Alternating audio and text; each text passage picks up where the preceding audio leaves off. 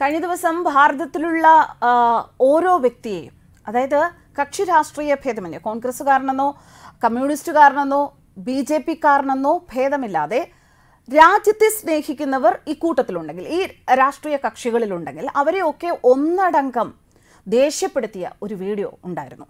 മറ്റൊരർത്ഥത്തിൽ പറഞ്ഞാൽ ഏത് രാഷ്ട്രീയ പാർട്ടിയിൽപ്പെട്ടവരായാലും രാജ്യത്തെ സ്നേഹിക്കുന്നവരുടെ ഇടയിൽ അവരുടെ രോഷം ഇളക്കുന്ന അവരെ രോഷാകുലരാക്കുന്ന ഒരു വീഡിയോ. രാഹുൽ ഗാന്ധിയായിരുന്നു ആ വീഡിയോയിലെ കഥാപാത്രം.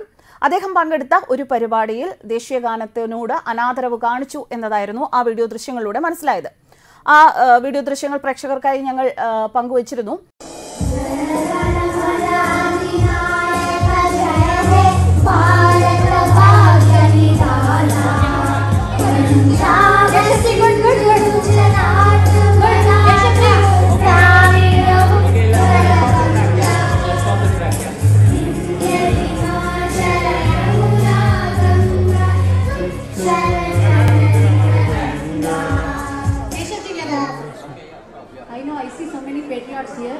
I really appreciate. Please sit down.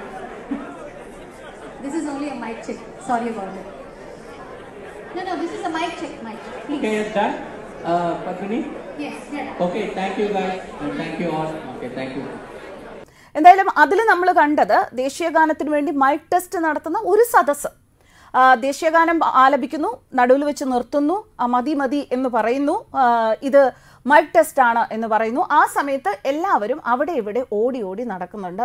കുറച്ച് പേര് സീറ്റിലിരിക്കുന്നുണ്ട് അവർ അവരുടേതായ കാര്യങ്ങൾ ചെയ്യുന്നുണ്ട്. അപ്പോൾ ഈ വീഡിയോ കണ്ടവരെല്ലാം ചോദിക്കുന്ന ഒരു ചോദ്യമുണ്ട്.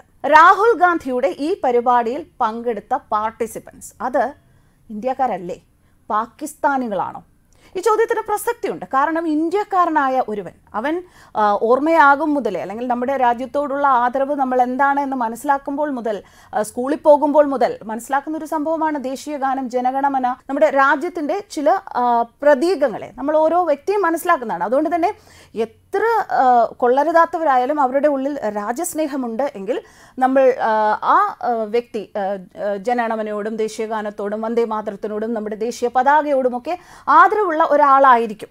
പക്ഷേ അത്തരക്കാരല്ലാത്ത ഒരു സദസ്സിനെയാണ് നമ്മൾ ആ ദൃശ്യത്തിൽ കണ്ടത്. പക്ഷേ അതിൽ ഏറ്റവും പ്രധാനമായി പറയേണ്ട മറ്റൊരു കാര്യം രാഹുൽ ഗാന്ധി ഈ ദൃശ്യങ്ങളിലൊന്നും ഇല്ല. രാഹുൽ ഗാന്ധി പങ്കെടുത്ത പരിപാടിയാണ് എന്ന് പബ്ലിസിറ്റി ഉണ്ട്. പക്ഷേ അതിൽ അദ്ദേഹത്തെ കാണുന്നില്ല. അദ്ദേഹത്തെ ആ ദൃശ്യങ്ങളിലൊന്നും കാണുന്നില്ല.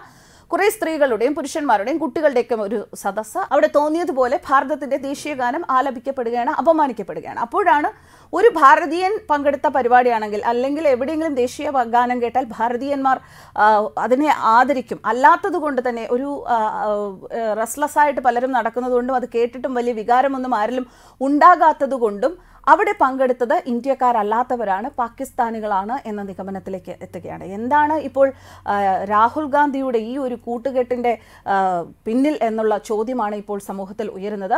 ദേശീയ ഗാനത്തോട് അനാദരവ് കാണിച്ചു ആലപിക്കുന്നതിനിടെ പാതിയിൽ നിർത്തി മൈക്ക് പരിശോധിക്കുകയാണ് എന്ന് പറയുന്നു. ദേശീയഗാനം ആലപിക്കുമ്പോൾ തടസ്സപ്പെടുത്തുന്നത് അനാദരവായിട്ട് മനസ്സിലാക്കുന്ന ഒരു ഭാരതീയനും അംഗീകരിക്കാൻ പറ്റുന്ന ഒരു കാര്യമല്ല. ഇന്ത്യക്കാരാണെങ്കിൽ അവിടെ എഴുന്നേറ്റ് നിൽക്കും.